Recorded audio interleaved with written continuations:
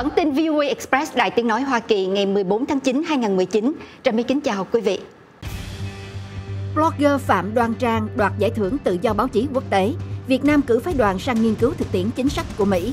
Westminster ra nghị quyết kêu gọi Hà Nội ngưng chiến dịch phá rối. Và nhiều tin khác nữa mời quý vị theo dõi chi tiết.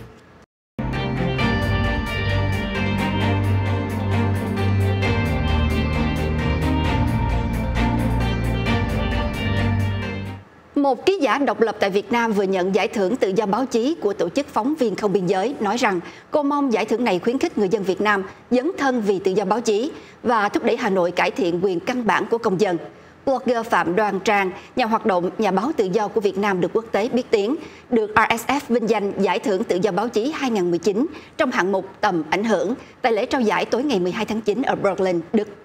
Trả lời VOA từ Việt Nam sau khi được tin, nữ blogger từng thực hiện các chuyến quốc tế vận kêu gọi cổ suý tự do báo chí cho Việt Nam, nhấn mạnh xã hội muốn phát triển, muốn dân chủ thì phải bảo đảm tự do báo chí, điều mà cô cho rằng còn vắng bóng ở Việt Nam. Qua giải thưởng này, Trang nói cô mong quốc tế biết đến điều mà cô gọi là làn sóng ngầm của đàn áp, của bịt miệng đang diễn ra dưới bề mặt ổn định chính trị của Việt Nam. Giải tự do báo chí thường niên của RSF được thành lập từ năm 1992 để giúp bảo vệ và cổ suý truyền thông tự do, độc lập. Mỗi giải thưởng đi kèm với 2.500 euro. Một đoàn công tác của Việt Nam bao gồm các thành viên của tổ biên tập Tiểu ban Kinh tế Xã hội Đại hội Đảng 13 do Bộ trưởng Kế hoạch Đầu tư Nguyễn Chí Dũng dẫn đầu vừa có các buổi làm việc với lãnh đạo và chuyên gia của các tổ chức nghiên cứu chính sách ở thủ đô Washington DC, Hoa Kỳ nhằm nghiên cứu thực tiễn chính sách của Mỹ. Theo Thông tấn xã Việt Nam, đoàn Việt Nam tới Mỹ hôm 10 tháng 9 và làm việc với Ngân hàng Thế giới, Viện Brookings, Trung tâm Nghiên cứu Chiến lược Quốc tế và Asia Group. Nội dung làm việc ngoài mục tiêu tìm giải pháp kinh tế cho Việt Nam trong bối cảnh chung toàn cầu, còn có các chủ đề về địa chính trị Biển Đông, chiến lược vành đai con đường của Trung Quốc và sáng kiến Ấn Độ Dương-Thái Bình Dương của Mỹ. Tổ biên tập Tiểu ban Kinh tế Xã hội Đại hội 13 của Đảng Cộng sản Việt Nam chịu trách nhiệm chính trong việc hoàn thiện dự thảo Chiến lược Phát triển Kinh tế Xã hội 2021-2023 và phương hướng phát triển kinh tế xã hội từ 2021 tới 2025.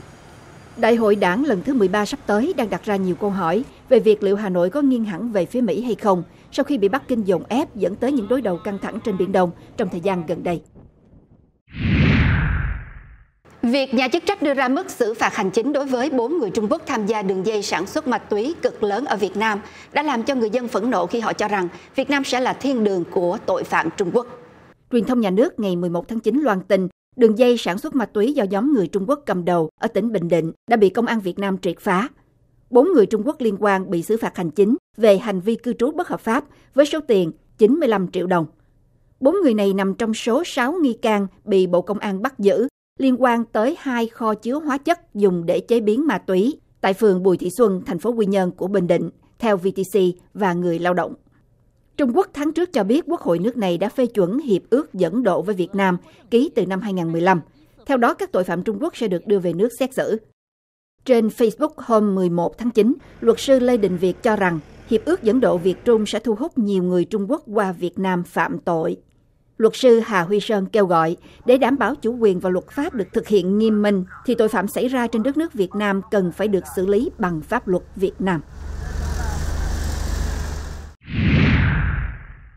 Hội đồng thành phố Westminster, bang California, một trong những nơi có người Việt tập trung sinh sống đông nhất ở hải ngoại, vừa thông qua nghị quyết lên án những đối tượng bị cáo buộc là có liên hệ với chính quyền cộng sản ở Việt Nam đang gây chia rẽ cộng đồng và kêu gọi nhà cầm quyền Hà Nội ngưng mọi hành động phá hoại quyết tâm chính trị của cư dân thành phố. Nghị quyết được đệ trình trong cuộc họp của Hội đồng thành phố tối ngày 11 tháng 9 và được thông qua, thị trưởng Westminster ông Tạ Đức Trí cho VOA biết. Nghị quyết nói, gần đây thành phố Westminster có sự gia tăng đáng kể các sự kiện nhằm gây rối loạn chính trị và khủng hoảng mà cư dân thành phố tố cáo là do các thành phần tiếp tay và cấu kết với nhà cầm quyền Hà Nội gây ra.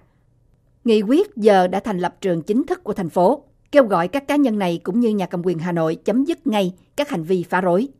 Westminster là một trong những thành phố hợp thành khu Little Sài Gòn ở miền Nam California nơi được xem là thủ đô của người Việt tị nạn tại Mỹ sau khi Việt Nam Cộng Hòa sụp đổ vào năm 1975. Thị trưởng Tạ Đức Trí nói, dù nghị quyết không có tác dụng cưỡng hành, nhưng nó gửi đi thông điệp mạnh mẽ với cộng đồng trước tình trạng mà ông mô tả là một chiến dịch đánh phá bằng thông tin sai lạc. Cảnh sát ở Berlin và bốn bang của Đức vừa đột kích 33 địa điểm được cho là có dính dáng tới hoạt động buôn người và bắt giữ 9 công dân Việt Nam tại đây. AP đưa tin ngày 13 tháng 9. Chiến dịch đột kích nhắm vào những người bị cáo buộc đã dàn xếp hôn nhân giả và quan hệ cha con giả để được định cư tại Đức. Chín người Việt bị bắt đều không có quyền cư trú hợp pháp và đã bị tịch thu điện thoại di động, tài liệu và tiền mặt. Đức là một trong những điểm đến của các đường dây buôn người từ Việt Nam sang châu Âu thông qua ngã Đông Âu. Giá đưa lậu một người sang Đức từ 11 tới 17 ngàn đô la, theo truyền thông Đức.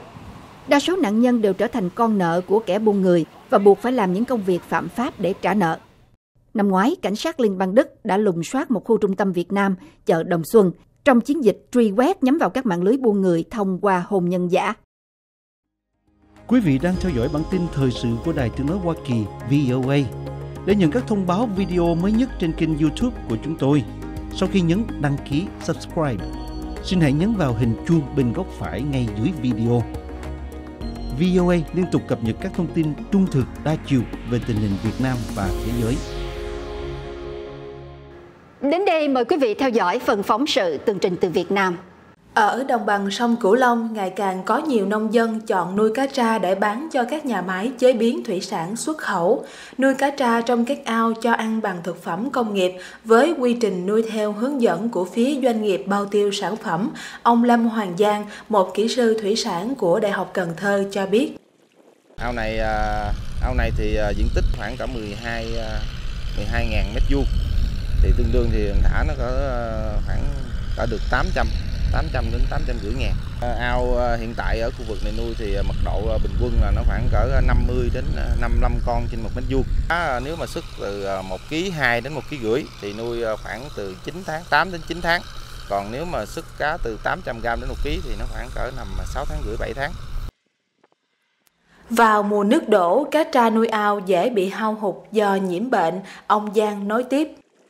Thời tiết ờ, nuôi thì ờ, ảnh hưởng rất nhiều. Thứ nhất ờ, về mùa này thì vô là mùa nước đổ, cho nên là cá rất là nhiều bệnh. Sử như đặc trưng đặc biệt đó là bệnh gan thận mũ thì tỷ lệ hao tương đối. Các nhà máy chế biến thủy sản xuất khẩu ngay tại các tỉnh miền Tây là nơi bao tiêu sản phẩm cá tra từ những ao nuôi của bà con nông dân.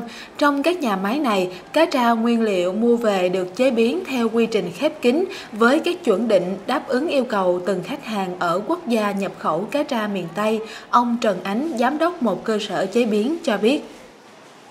Chính nó là những qua công đoạn ví dụ cá tiếp nhận cá sống lên thì ờ, vào là cách tiết xong tới phi lê thì ờ, lạng da và tạo hình chỉnh sửa theo cái quy cách của từng sản phẩm theo từng đơn hàng từng uh, cái khách hàng khác nhau lên trên này là ship khuôn cấp đông đóng gói thì cái lợi thế cạnh tranh của mình so nó, con cá mình nó sẽ lắng được với những cái sản phẩm tương đương của bên đó yeah. Dạ. sản phẩm mà có thể thay thế hoặc là bổ sung thì nó cái khả năng đó nó mạnh hơn Mặc dù chất lượng và giá cả cá tra ở miền Tây cạnh tranh tốt với nhiều quốc gia khác, song trong một ghi nhận của Hiệp hội Chế biến và Xuất khẩu Thủy sản Việt Nam đã gần 7 tháng liên tiếp từ đầu năm 2019, con cá tra của Việt Nam bất ngờ giảm 38,7% so với cùng kỳ năm trước khi bán vào thị trường Mỹ.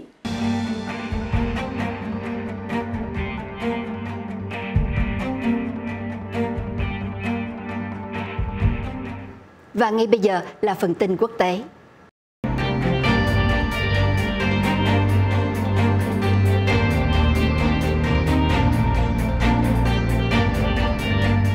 Quân đội Mỹ loan báo một khu trục hạm của Hải quân Hoa Kỳ ngày 13 tháng 9 đã áp sát các đảo Trung Quốc tuyên bố có chủ quyền tại Biển Đông.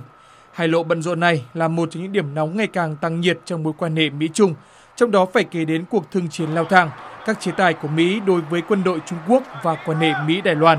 Trung tá Hải quân Brian Momsen, phát ngôn viên của hạm đội 7 cho Reuters biết khu trục hạm Wei Mayer thách thức các tuyên bố chủ quyền của Trung Quốc ở Biển Đông mà bà mô tả là quá đáng xung quanh quần đảo Hoàng Sa mà Đài Loan và Việt Nam cũng tuyên bố có chủ quyền. Trung Quốc và Hoa Kỳ trong quá khứ đã lời qua tiếng lại về việc Mỹ tố cáo Bắc Kinh quân sự hóa Biển Đông bằng cách xây dựng các cơ sở quân sự trên các đảo nhân tạo và các bãi đá trong vùng biển tranh chấp. Tổng thống Hàn Quốc Moon Jae và Tổng thống Mỹ Donald Trump sẽ họp thượng đỉnh tại Liên Hợp Quốc trong tháng này.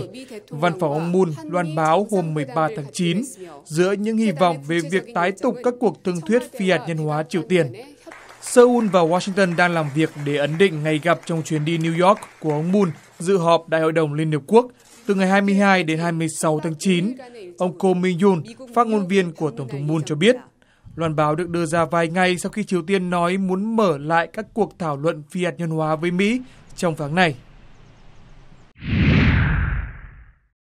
Mỹ sẽ dựng các tòa án giã chiến ở Laredo và Brownsville, bang Texas để giải quyết đơn xin tị nạn của di dân vượt biên từ Mexico vào lãnh thổ Mỹ.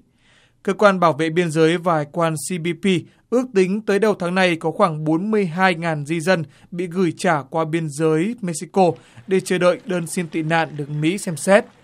Làn sóng di dân gia tăng tại biên giới Mỹ cộng với nhu cầu gian xếp hậu cần và pháp lý tại các trụ sở tòa án giới hạn ở San Diego và El Paso khiến khó khăn ngày càng chồng chất. Những tòa án giã chiến này hy vọng sẽ tăng tốc quá trình thụ lý và giải quyết đơn xin tị nạn. Tại Taredo, từ 20 đến 27 phòng xử án giã chiến sẽ được trang bị các video hội thoại để các thẩm phán dù không ở khu vực biên giới vẫn có thể xét xử từ xa. Chương trình mang tên Thủ tục bảo vệ di dân MPP buộc hàng chục ngàn người trở lại Mexico chờ tòa án Mỹ ấn định ngày xét xử, gây nên tình trạng tồn động và trì hoãn trong khi các thẩm phán và nhân viên tòa án phải vật lộn với hàng chồng đơn xin tị nạn.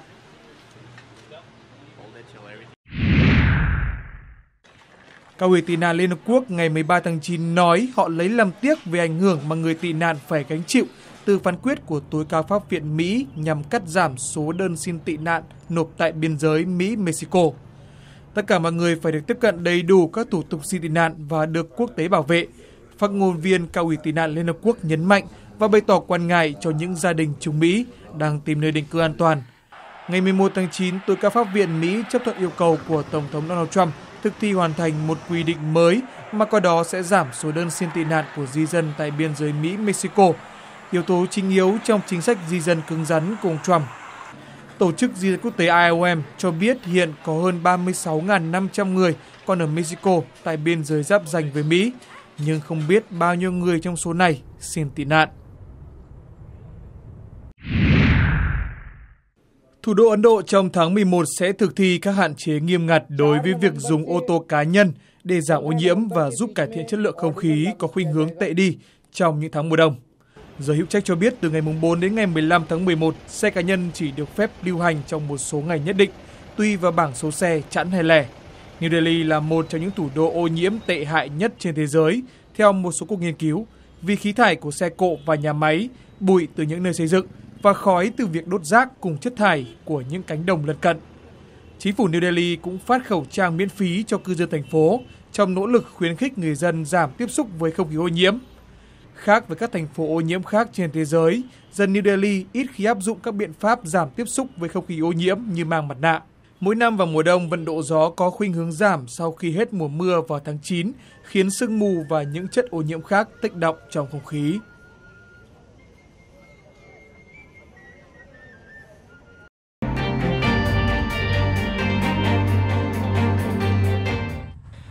Đây là công việc hàng ngày của ông Thìn Nguyễn, một người cao niên gốc Việt sinh sống ở ngoại ô thủ đô Washington, Hoa Kỳ. Khu vườn của ông có hàng chục loại cây trái khác nhau, từ khổ qua, mướp hương, bí đao, bí ngô, thanh long cho tới rau muống, mùng tơi và các loại ớt tươi.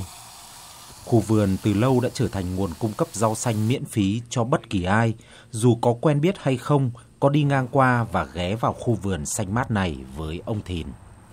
Tôi trồng à, hậu qua, hậu qua thì đã nhiều lắm.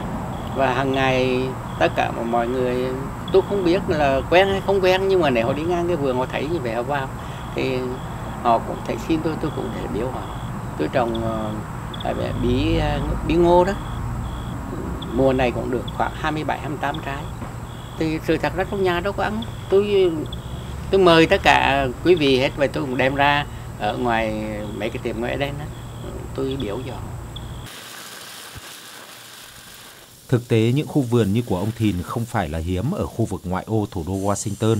Người cao niên gốc Việt ở đây với bản tính cần cù không chịu ở không khi đã về hưu, tùy theo điều kiện kinh tế, thường tìm cho mình những ngôi nhà vườn có diện tích từ 1.000 cho tới 2.000 mét vuông để tranh thủ trồng hoa trái và rau xanh, vừa là một thú vui, vừa phục vụ nhu cầu của gia đình, họ hàng, bạn bè và cả đồng hương. Mình về hưu rồi bây giờ mình ở công ấy thì nó buồn với lại ở không được cái bệnh dữ lắm. Thành ra mình à, trồng các loại rau rồi kia trong gia đình có cái rau mà ăn không phải mua đỡ tốn tiền, đỡ tốn kém vậy thôi. Tôi uh, trồng tất cả những thứ gì của người Việt Nam thích và để cho tất cả mọi người họ đến đây thì tôi sẽ biểu cho họ vì đó là những cái thực phẩm uh, quê hương không ngoài ra cái gì hơn hay đó là niềm vui của tôi Tất nhiên để có được những khu vườn rộng hơn cả nghìn mét vuông như thế này ở ngoại ô thủ đô Washington, từ đó có được thú vui điển viên lúc về già, những người như ông Thìn đã phải chăm chỉ lao động hàng chục năm trên đất Mỹ. Và cũng giống như cây trái trong vườn, công sức lao động của ông giờ đã cho trái ngọt. Để giờ đây, hàng ngày ông Thìn lại được thảnh thơi ngồi bên ấm trà trong khu vườn xanh mát và tiếp chuyện những bạn bè đồng hương vẫn thường ghé qua chơi. Ngày 11 tháng 9, cả nước Mỹ nhớ về những sinh mạng đã mất trong vụ tấn công khủng bố kinh hoàng nhất trên đất Mỹ trong lịch sử. Tổng thống, phó tổng thống và rất nhiều người khác tham dự các buổi lễ tưởng nhớ gần 3.000 người thiệt mạng khi những kẻ khủng bố Al-Qaeda cướp 4 chiếc máy bay chở khách và đâm hai chiếc vào hai tòa nhà trung tâm thương mại thế giới ở New York và đâm một chiếc khác vào ngũ giác đài. Chiếc thứ tư đâm xuống một cánh đồng ở Pennsylvania sau khi các hành khách dũng cảm cố gắng khống chế những tên không tặc. 18 năm sau, chi tiêu quân sự của thế giới đang ở mức cao nhất mọi thời đại, theo dữ liệu từ Viện Nghiên cứu Hòa bình Quốc tế Stockholm, tổ chức theo dõi chi tiêu quân sự thế giới từ năm 1988. Phóng viên đài VOA tại Lầu Năm Góc có thông tin chi tiết, mời quý vị cùng theo dõi. Chi tiêu quân sự đang tăng lên một tầm cao mới, với 1,8 nghìn tỷ đô la được chi ra trong riêng năm 2018. Chúng ta phải xem đây là một tín hiệu cảnh báo, không nhất thiết phải là nguyên nhân dẫn tới chiến tranh, mà là điều cần được lưu tâm chặt chẽ. Chi tiêu quân sự đạt mức thấp sau chiến tranh lạnh năm 1988. oh Sau đó, sự kiện 11 tháng 9 xảy ra. Với nguyên do từ cuộc chiến toàn cầu chống khủng bố ở Afghanistan và Iraq, chi tiêu quân sự của Hoa Kỳ và đồng minh tăng cao cho đến khi chính quyền Obama bắt đầu cắt giảm ngân sách quân sự. Và giờ đây, chi tiêu quân sự lại đang tăng trở lại nhờ vào Nga và Trung Quốc. Chúng ta đang có hai quyền lực muốn sắp xếp lại trật tự thế giới. Chúng ta phải chắc chắn không muốn điều đó xảy ra, không chỉ vì lợi ích của Hoa Kỳ, mà còn phải đại diện cho các đối tác và đồng minh của chúng ta. Hoa Kỳ chiếm hơn 1 phần 3 chi tiêu quân sự toàn cầu, và quân đội Hoa Kỳ tự hào có 11 hàng không mẫu hạm, một kho vũ khí hạt nhân mạnh mẽ, những máy bay chiến đấu tinh nhuệ mới nhất và khoảng 2,1 triệu quân nhân. Các chuyên gia đồng ý sức mạnh quân sự của Hoa Kỳ hiện ở vị trí thống trị. Tôi nghĩ đôi khi có xu hướng đề cao quá mức sức mạnh quân sự của Nga và Trung Quốc, nhưng thật ra không phải vậy. Có những lỗ hổng thực sự mà chúng ta có thể khai thác trong một cuộc xung đột cụ thể, nhưng họ cũng có những lĩnh vực tiến bộ chúng ta. Trung Quốc hiện là nhà chi tiêu quân sự lớn thứ hai thế giới, với từ chỉ 2% ngân sách quốc phòng của thế giới vào năm 1990 lên đến 14% như hiện nay. Đồng minh và đối tác của Mỹ không nên ảo tưởng rằng Trung Quốc đã và đang thực hiện một nỗ lực toàn diện để hiện đại hóa quân đội để họ có thể cưỡng chế và đánh bại Hoa Kỳ và đồng minh trong một cuộc xung đột trong tương lai.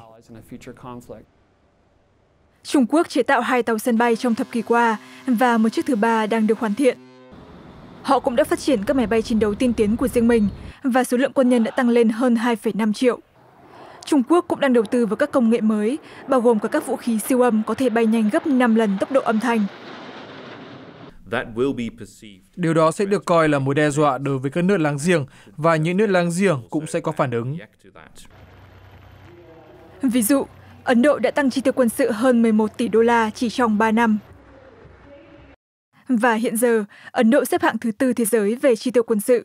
Mặc dù Nga không nằm trong nhóm 5 quốc gia chi tiêu quân sự hàng đầu năm 2018, nhưng vẫn khiến NATO phải chú ý sau khi xâm chiếm Georgia vào năm 2008 và sắp nhập một phần của Ukraine vào năm 2014. 29 quốc gia NATO đã chi tổng cộng 963 tỷ đô la, chiếm 53% chi tiêu quân sự thế giới năm 2018. Và con số đó có thể sẽ tăng lên khi Hoa Kỳ tiếp tục gây áp lực buộc các đồng minh phải chi 2% tổng sản phẩm quốc nội cho quốc phòng.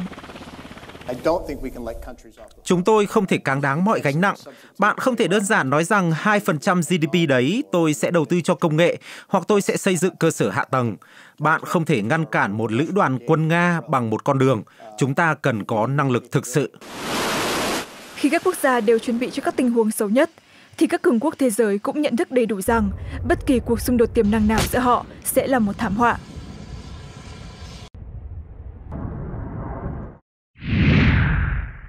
Bạn muốn trải nghiệm cuộc sống trên sao hỏa, không cần phải đợi đến khi có thể bay tới đó. Tới Tây Ban Nha gần hơn nhiều. Astroland, một cơ quan liên hành tinh của Tây Ban Nha, đã chế tạo môi trường mô phỏng sao hỏa trong một hang động ở phía bắc nước này, mở cửa cho du khách từ khắp nơi trên thế giới tham quan. Thông tin viên của đài VOA cho biết dự án có tên là Ares Station, thu hút những du khách thích phiêu lưu mạo hiểm. Mời quý vị theo dõi. Các nhà khoa học, kiến trúc sư và nhà xây dựng đã chuyển đổi một hang động lớn nằm sâu trong vùng núi Cantabria phía bắc Tây Ban Nha, cách thành phố Bilbao khoảng 90 km về phía tây, thành một khu vực có điều kiện sống tương tự như những gì cần thiết cho sự sống trên sao hỏa. Họ cho biết điều kiện thiếu không khí, nhiệt độ cực thấp và sự hiện diện của các tia vũ trụ trên hành tinh đỏ có lẽ sẽ buộc các xã hội mới phải định cư dưới lòng đất. Ares Station cho các du khách thích phiêu lưu có cơ hội trải nghiệm nó. Trước khi vào hang ở 4 ngày 3 đêm, những người tham gia phải trải qua 26 ngày đào tạo trực tuyến và 3 ngày đào tạo chuyên sâu ở thủ phủ Santander. Khi họ vào Ares Station, họ trở thành những nhà du hành vũ trụ. Có nghĩa là những người tiên phong phải đối mặt với những điều chưa biết. Những gì chúng tôi làm trong toàn bộ thời gian ở đó là xử lý sự cố và giải quyết từng vấn đề một chỉ để làm cho các thử nghiệm hoạt động và các thử nghiệm khác hoạt động. Một cái gì đó hoạt động và điều này thực sự tuyệt vời bởi vì đây là điều tôi thích. Những nhà du hành vũ trụ sống trong môi trường được bảo vệ, nhưng phải mạo hiểm khám phá, thực hiện các chuyến đi ngoài không gian, trải nghiệm cảm giác không trọng lực và học cách trồng thực phẩm trong các phòng thí nghiệm đặc biệt. Thật là một trải nghiệm tuyệt vời khi ở trên sao hỏa 4 ngày. Chúng tôi đang ở trong một hang động và rồi chúng tôi luôn có những khoảnh khắc tuyệt vời mỗi ngày khi tham gia hoạt động ngoại khóa, nghĩa là đi ra khỏi môi trường nơi chúng tôi ngủ và rồi vào hang và nó trông giống như sao hỏa. Bởi vì trên sao hỏa bạn được sống trong các ống dung nham nên nó rồng hệt vậy. Tối đa 10 người có thể tham gia vào mỗi sứ mệnh và không hề rẻ. Mức giá 6.600 đô la mỗi người nghe có vẻ vô cùng to lớn, nhưng đối với nhiều người trải nghiệm này rất đáng giá. Một trải nghiệm đưa bạn ra khỏi hoàn toàn vùng thoải mái của mình, đó là một thế giới khác, bạn phải thích nghi, thay đổi suy nghĩ của mình và mọi thứ bình thường, nhưng bạn phải học cách làm điều đó khác với những gì bạn quen làm trên trái đất. Nó thực sự là một thế giới khác. Astroland cho biết Ares Station đã thực hiện thành công sứ mệnh đầu tiên và hiện đang mở cửa cho các nhóm thám hiểm mới.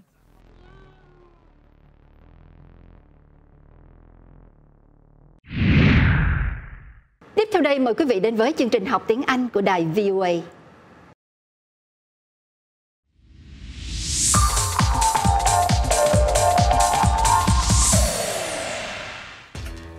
Welcome to English at the Movies, where we teach you American English heard at the movies. Our saying today is, I've lost my way, from the movie Six Below. This is a film about a young man who feels confused. He leaves his family to search for answers, but becomes lost in a great snowstorm. Listen for the expression, I've lost my way. I was a good kid, a strong kid. Never be perfect enough for you. I mean, you're stressing the boy out. I lost my way. I'm done. I'm not going to help you anymore until you want to help yourself. So, what do you think I've lost my way means? Is it I can't find the door? Or I feel like I have lost my sense of direction in life? Listen again. Do you have the right answer? I was a good kid, a strong kid. I lost my way. I'm done. I'm not going to help you anymore until you want to help yourself. I've lost my way means I feel like I have lost my sense of direction in life. People usually use this term when they cannot seem to find a purpose. In the movie, the child's father seemed to be putting pressure on him. As he gets older, things start to go badly, and he does not know how to fix them. When he says, I've lost my way, he means he has lost touch with himself and his goals.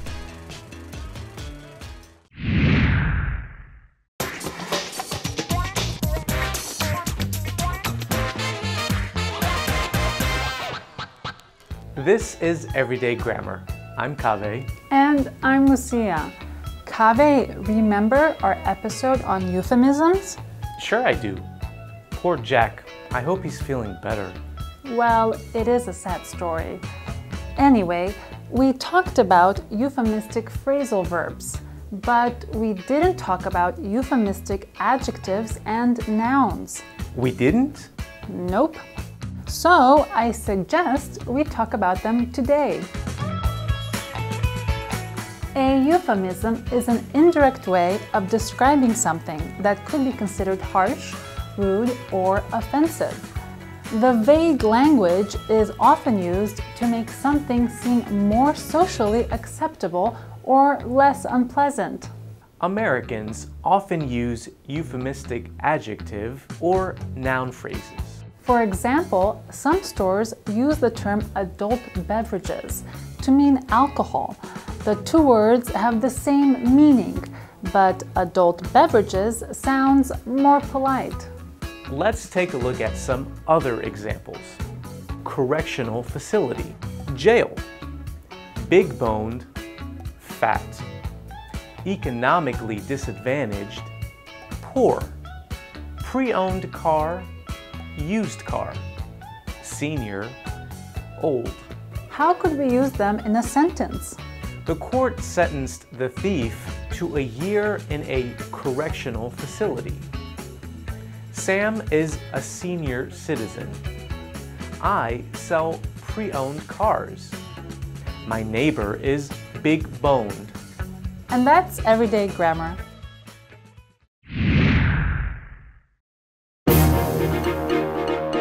Welcome to the Voice of America's News Words. This news word concerns the remains of an animal found in Canada. Personality. Experts think the animal was swept out to sea millions of years ago. It was buried and turned into stone. On its head are what seem to be eyes. A researcher says it looks like it has a personality. Personality is the set of emotional qualities and behaviors that make people different from one another. Personality can also be used when describing animals. Like us on Facebook at VOA Learning English. Cảm ơn quý vị đã theo dõi chương trình VOA Express của Đài Tiếng Nói Hoa Kỳ. Ngoài trang tin voa tiếng việt.com, quý vị cũng có thể theo dõi VOA trên Facebook VOA tiếng Việt, YouTube VOA tiếng Việt Video, Instagram VOA tiếng Việt hoặc qua các thiết bị di động với ứng dụng VOA miễn phí trên iTunes Store và Google Play. Để nhận tất cả thông báo video mới nhất trên kênh YouTube, sau khi nhấn đăng ký, quý vị hãy nhấn vào hình chuông bên góc phải ngay dưới video. Muốn đóng góp hình ảnh, video, bài viết cho VOA e Việt ngữ, xin gửi về địa chỉ voa bạn làm báo a vòng gmail.com. Trà My xin hẹn gặp lại quý vị trong bản tin lần tới.